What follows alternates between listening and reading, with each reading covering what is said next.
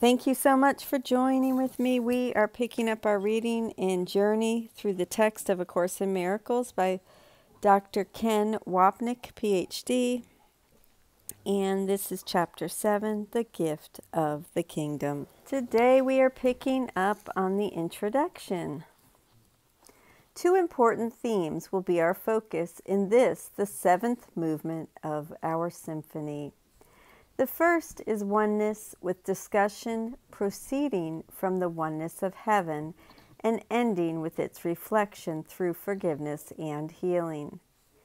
The second theme is the body's role in the ego's strategy. As we know, the ego makes the body, separation's symbol, and the opposite of oneness, to prove that the separation is real the goal is accomplished in two significant ways attack and sickness.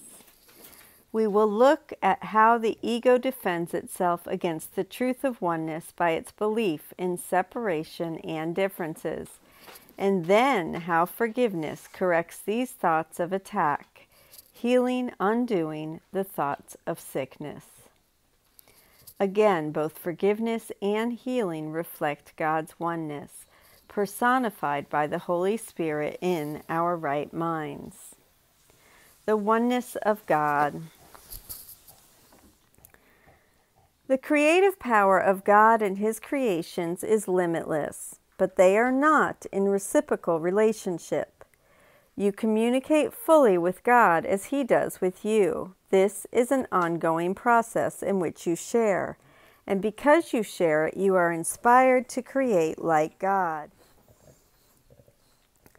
Yet in creation, you are not in a reciprocal relation to God since He created you, but you did not create Him.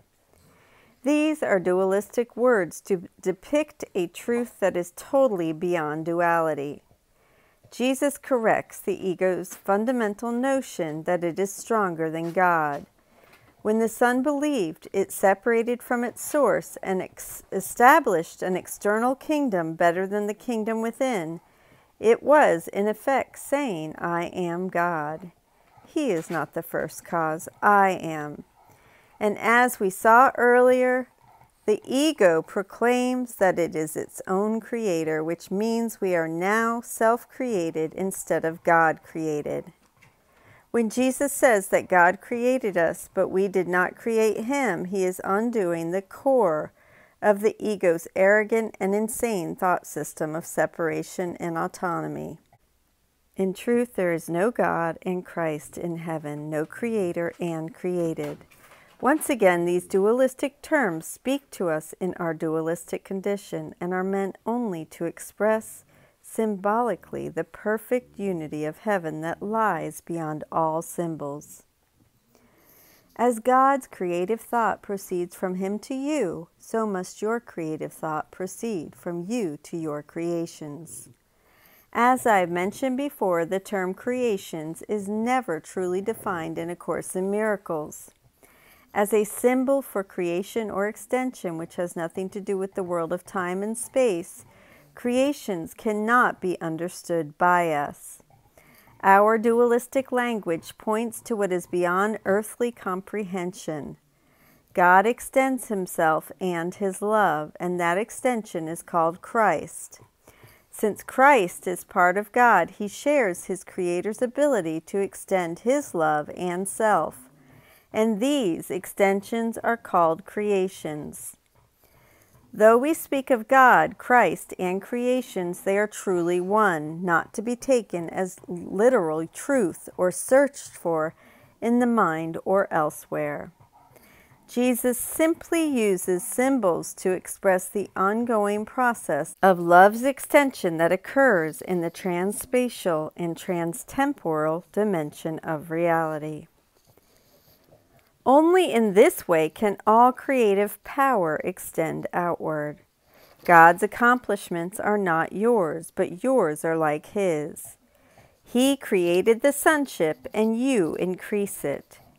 In other words, God created us. We did not create Him. Nonetheless, we create like Him. It is important to note that increase is not meant to quantitatively, wait, is not meant quantitatively, being but a spatial metaphor used to depict a non spatial process.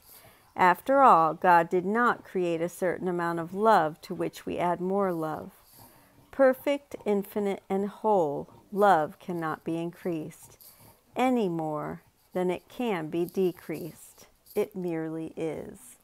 And that is a perfect place to stop. I thank you so much for joining with me, and I will see you tomorrow. I love you. Bye bye.